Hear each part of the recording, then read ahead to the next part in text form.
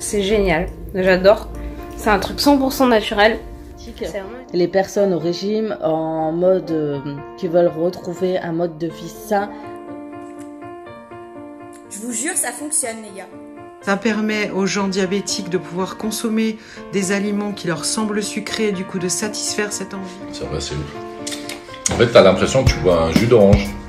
Un jus d'orange bien, bien, bien sucré. Et c'est vraiment incroyable. Je conseille bien la B-miraculine, c'est extra. C'est délicieux. C'est une tuerie. Je sais pas si vous avez besoin, vous en avez marre du sucre. Et ben voilà, cette petite euh, chose naturelle qui est une graine, et ben ça va vraiment vous changer la vie.